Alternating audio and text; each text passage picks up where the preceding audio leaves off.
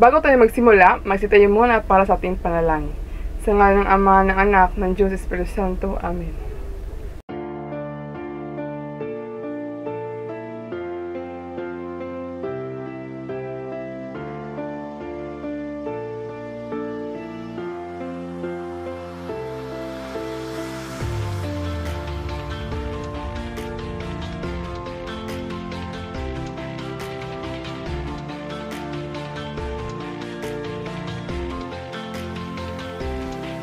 Bago natin simulan ang aralin, kayo ay inaasahang Una, maunawaan at bigyang halaga ang mga pangyayari ng pananakop ng mga Hapones at ikalawang digmaang pandaigdig sa Pilipinas.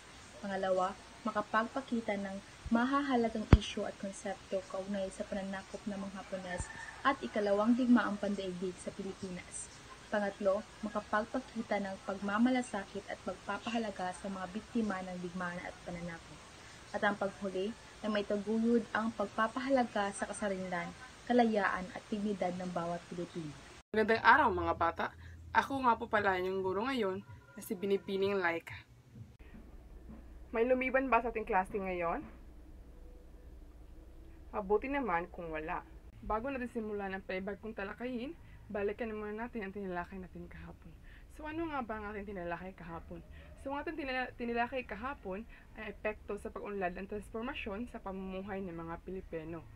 So ano ang epekto sa pag-unlad ng transportasyon sa pamumuhay ng mga Pilipino? Tama. Ang mga epekto sa transportasyon sa pamumuhay ng mga Pilipino ay malalim at malawak. Ang kawalan ng maasang sistema ng transportasyon ay maaaring magdulot ng matinding trapiko, pagod, at orasan sa sayang sa paglalakbay. Bago natin simulan ang ating talakayan, meron akong inihanda aktibidad para sa inyo. Hatiin ko kayo sa dalawang pangkat, pagkatapos ay bibigyan ko kayo ng apat na larawan dahil maglalaro tayo ng 4 picks at 1 word at kung sino ang may makakuha ng maraming sagot ay sila ang mananalo. At sa bawat larawan na ipapakita ko ay bibigyan ko kayo ng tigil limang segundo. Unang larawan ay ito. So ang sagot sa larawan na ito ay Espanyol. Pangalawang larawan ay ito. So sagot ito ay digmaan. Pangatlo naman ay ito. Ang sagot naman dito ay ang kamatayan. At ang huling larawan ay ito. Ang tamang sagot dito ay kalayaan. So, ang pangkat na nakuha ay ang pangkat dalawa. Sa mga salitang yung nahulaan, masasabi nyo bang may kalayaan ng Pilipinas sa panahon ito? Hindi, dahil hindi madali ang kanilang karanasan. Mahusay! Ngayon, ay meron akong panibagong aktibidad para mas lalo niyong maunawaan ang aking itatalakay. May papakita ko sa inyo na larawan na kaugnay sa ating tatalakayin at hulaan nyo kung anong larawan ito at bibigyan ko kayo ng tigilimang segundo. At pagkatapos nyo itong hulaan ay may mga katanungan ako. So ang unang larawan ay ito. Ito ay sementeryo. Pangalawang larawan naman ay ito. Ito ay digmaan. Pangatlong larawan naman ay ito. Ito ay nag-iiyakan. Pang-apat na larawan ay ito. Ito ay isang watawat ng Pilipinas. Panglimang larawan ay ito. Isang labanan na gamit ng iba't ibang sandata. Pang-anim na larawan ay ito. Mga sundalo. So may mga itatanong ako sa inyo. Ano ang nakikita nyo sa larawan? Tama, mga watawat, labanan, nagiiyakan, at saka mga sundalo, at may sementeryo. Pangalawang tanong ay ngayon lang ba kayo nakakita ng gantong pangyayari? Pangatlong tanong ay ano ang masasabi niyo sa larawan? Ito ay nagpapakita ng kahirapan at kalungkutan. Pang-apat naman ay ano ang ipinahiwatig ng larawan? Tama, ito ay nagpapahiwatig ng sakripisyo ng bayan. Meron akong mga katanungan sa inyo at bibigyan ko lang kayo ng mga ilang segundo upang pag-isipan nyo ang iyong isasagot. Unang katanungan, ano ang inyong napansin sa ating aktibidad? Pangalawang katanungan, ano ang inyong mga napansin sa inyong mga sagot? Pangatlong katanungan, nakakaranas na ba tayo ng pang-aapi mula sa pananakop at digmaan? Paano ba natin maipagtanggol ang ating bansa sa oras ng digmaan? Dapat magkakaroon tayo ng sapat na depensa at lakas ng loob. Sa tingin nyo ba, bakit nakipagdigma ang Hapones sa Pilipinas? Nakipagdigma ang Hapones sa Pilipinas noong ikalawang digmaang pandaigdig upang matamo nila ang kontrol sa lupain at mapalawak ang kanilang teritoryo sa timog silangang Asya. Ngayon ay itatalakay ko ang tungkol sa pagsiklab ng digmaan. Ang pagbomba sa Pearl Harbor noong ika-7 ng Disyembre 1941, binomba ng mga Hapones ang Pearl Harbor sa Hawaii sa utos ng hukbong imperial ng Hapon. Malaki ang dulot nito, malaki ang napinsala, kaya ito ay naging hudyat sa ikalawang digmaang pandaigdig sa Pasipiko. Dahil ang Pilipinas ay nasa ilalim ng Amerika noon, sangkot ang Pilipino sa digmaan. Napakabilis ng pangyayari. Ilang oras matapos pasabugi ng mga Hapones ang Pearl Harbor, nilusob naman ng kanilang eroplanong pandigma ang Clark Field sa Pampanga at ang Nicol Nichols Air Base. Gay, uh, binomba rin nila ang Davao, gayon din ang Tarlac at pati na rin ang Tugigaraw. Ang Maynila ay binomba noong December 9 ng umaga upang maiwas at pansamantalang matigil ang paglusob ng mga Hapones. Ipinahayag ni General Douglas MacArthur na bukas na lungsod ang Maynila o Open City noong December 26, 1941. Madali nang nakapasok ang mga Hapones sa Maynila. Sinira nila ang mga radyong shortwave. Inagaw nila ang mga sasakyan, tirahan at pagkain ng Pilipino. Nilapastangan at pinagmamalupitan nila ang ating mga mamamayan. Malaki ang dinanas at hirap na na naranasan ng ating mga kapwa Pilipino noon. Si General Douglas MacArthur ay isang bantog na Amerikanong general na naglingkod noong unang digmaang pandaigdig, ikalawang digmaang pandaigdig at digmaang Koreano. So ngayon ay dadako tayo sa labanan sa Bataan. Ang Maynila ay lubusan ng nasakop ng mga Hapones noong Enero 2, 1942. Ang mga sundalong Amerikano at Pilipino ay umurong mula sa Bataan patungo sa kota ng Corregidor. Ito ay isang pulo na sinadyang ginawa ng mga na, ginawang muog sa mga Amerikano patungo sa lagusan sa look ng Maynila. Mula sa Corregidor, inilikas ni Manuel L. Quezon ang pamahalaang Commonwealth pati na rin ang kaniyang pamilya sa Amerika noong Pebrero 20, 1942. Ipinagpatuloy ni Manuel L. Quezon ang pamahalaang Commonwealth sa Amerika at naatasan si General Jonathan Wainwright bilang kapalit ni General Douglas MacArthur na ipagtanggol ang ating bansa. Naging matindi ang kanilang labanan at maraming Pilipino at Amerikano ang namatay.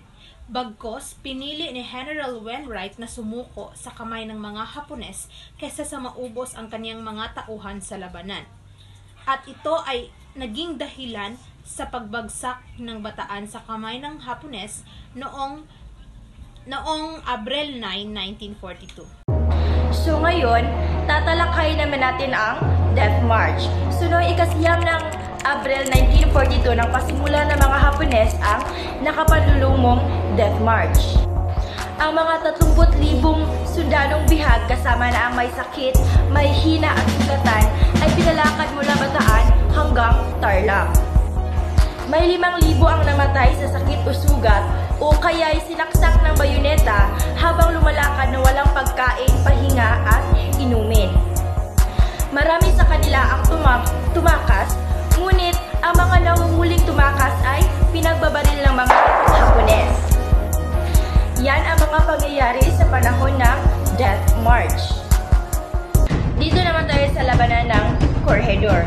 So simula noong ikalalawamput siyam ng April 1942, isang linggo na walang tigil sa pagbubomba ang mga ginawa ng Hapones sa Corregidor. Ito ang kaarawan ng kanilang pinuno na si Emperor Hirohito. ika-apat na Mayo 1942 naman ang pinakamahirap na araw sa mga sundalo dahil sa walang tigil sa pagbula ng bala at kanyon. Noong ikalima ng Mayo naman, ibinuhos ng mga sundalong Pilipino at Amerikano ang lahat ng kanilang makakaya upang matanggol ang korehedor. Ngunit, sa huli, nagapi pa rin sila sa mga Hapones. Kaya, sa pagsuko ng koridor noong ika-anim ng Mayo 1942 ay ganap ring bumagsak ang buong bansa sa kamay ng mga Hapones. Ngunit kahit sumuko na ang labindalawang libong sundalong Pilipino, ay hindi pa rin nagwakas ang digmaan. Matibay ang hangarin ng mga Pilipino na makamit ang kalayaan. Sinikap nila na makamit ito, kaya pinaglaban ito hanggang sa kanilang kamatayan. Yan ang mga nangyari sa labanan ng Corregidor. Dahil ngayon na alam niyo na kung ano ang mga nangyayari sa panahon ng pananakop ng mga Hapones at ang ikalawang digma ang pandaigdig, mayroon akong aktibidad na ipapagawa sa inyo. Ito ay ang sanhi at epekto. So bibigyan ko kayo ng mga larawan at alamin niyo ito kung anong digmaan ito. Ito ba ay labanan sa Corredor, Death March, pagbomba ng Pearl Harbor at iba pa. So pagkatapos nyong alamin kung anong klaseng labanan ito, ay magbigay kayo ng limang sanhi at limang epekto sa labanan na ito dito sa ating bansa. Pagkatapos ay iprepresentan nyo dito ito sa harap ng klase.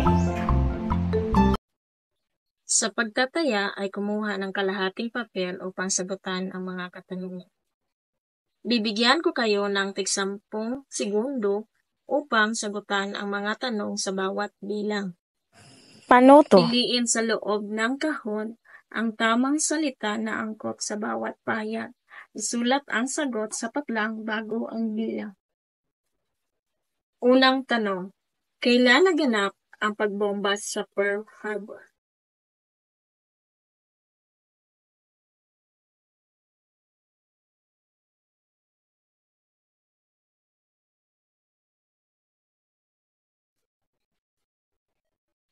Pangalawa, sino ang pumalit ni General MacArthur na ipagtanggol ang ating bansa?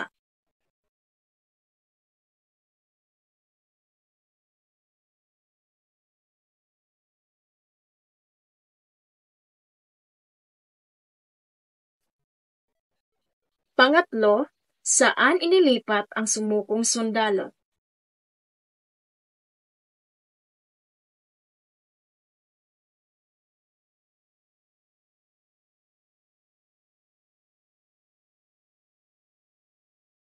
Pang-apat, kailan naranasan ang pinakamahirap na araw ng mga sundalo dahil sa walang tigil na pag-ulan ng bala at kanyo?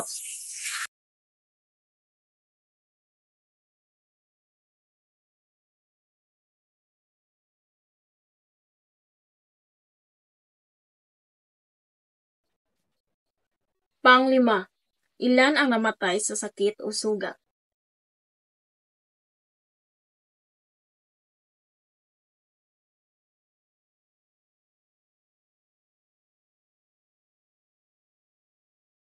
Pang-anim, ilang sundalong lihag kasama na ang mahihina, may sakit sugatan, ay pinalakad mula Bataan hanggang Tarlac.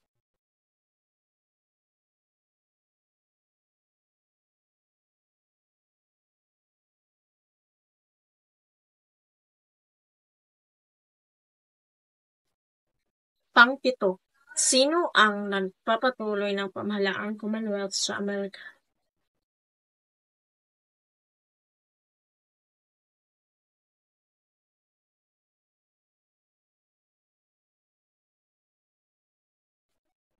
Pangwalo, ilang linggo na walang pagtitigil na pagbobomba ng, na ginawa ng mga Hapones sa Corregidor.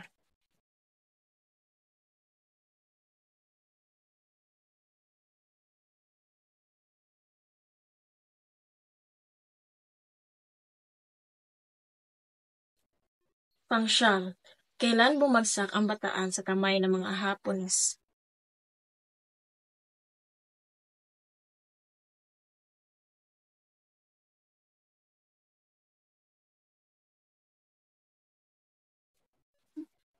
Pangsampo, saan ipinagpatuloy ni Manuel L. Quezon ang pamahalaang Commonwealth?